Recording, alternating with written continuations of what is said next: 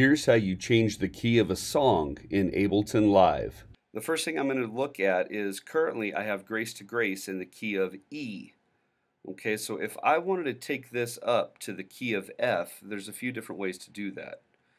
One of the fastest ways, in my opinion, is to open your song here, and then you double click this top line of your first track.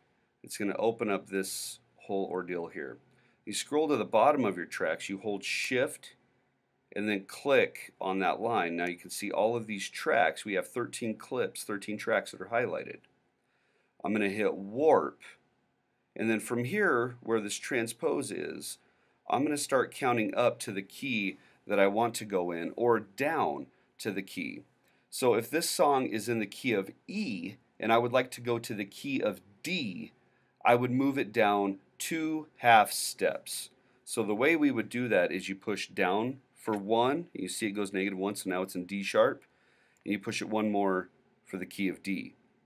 If I wanted to go up, let's say to the key of G, and we were in E, I would start again at zero, that's E, F, F sharp, G.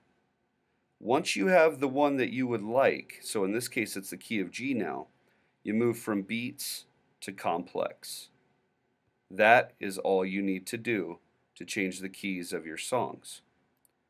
One thing I do recommend is not changing the key of a song on drums. So here we can just take it back down to zero and then same if there's a percussion track you just move that back down to zero.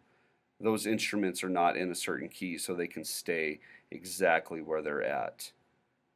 That is how you change the key of a song in Ableton Live.